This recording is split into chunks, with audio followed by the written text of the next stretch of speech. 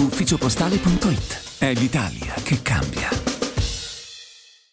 Noi abbiamo dei numeri, abbiamo delle strutture che, ripeto, sono già oltre, oltre misura occupate a disposizione per le emergenze, che però sono ormai arrivate a, a un punto di saturazione. Altri 106 migranti sono sbarcati al porto di Ancona, alla banchina 19, ieri mattina. Intanto il sindaco Daniele Silvetti ha già fatto sapere che la città è piena, non ci sono più posti disponibili per le persone migranti eh, arrivate dalla nave ONG salvate al largo delle coste libiche. Ma noi siamo andati tra la gente a chiedere cosa ne pensano di questo tema, soprattutto qui nel quartiere multietnico del Piano dove vivono persone provenienti da ogni paese del mondo. Sentiamo. Eh, io non diciamo, l'accoglienza deve essere fatta per tutti, soprattutto per le persone che soffrono.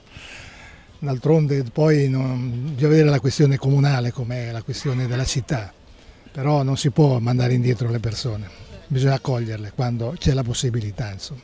Questa è l'Europa che sta rovinando l'Italia da tutte le parti. Eh, il governo tira su 2 miliardi della benzina per pagare i danni che deve fare e gli altri paghiamo con la pensione. Niente, ma c'è, più di loro che nostri. Specialmente qui al mercato comincia a venire con i sacchettini dell'aio. De... Io per carità, loro hanno ragione, ma pure noi altri, noi se fanno. Voi fai una passeggiata, ti viene intorno sempre con... Il sindaco Silvetti dice che non c'è più posto adesso. Va a finire che c'è più di loro che di noi sfuggono dalle guerre, quindi non è che insomma, la situazione sia positiva. Ecco. Da quando c'era la guerra qui loro venivano su aiutare.